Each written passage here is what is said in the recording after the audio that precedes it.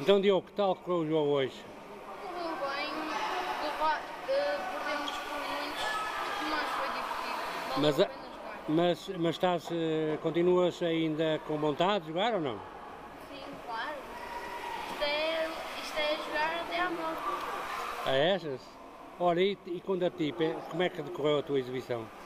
Correu bem. Foi Ah. difícil, foi difícil defender alguns mas E a equipa contrária, o que é que achaste? estão bem preparados, vão longe. Pronto, Diogo, até à próxima.